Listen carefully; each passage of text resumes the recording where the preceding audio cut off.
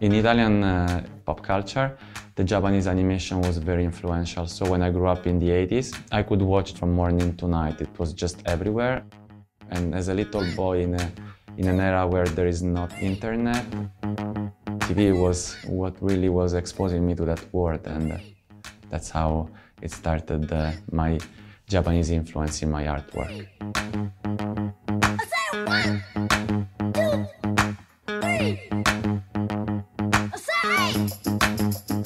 Being here in uh, Pow Wow Guam uh, was a wonderful experience for me. Being able like to wake up every morning and uh, you know just like uh, splash uh, colors on a wall, um, it made me feel very free.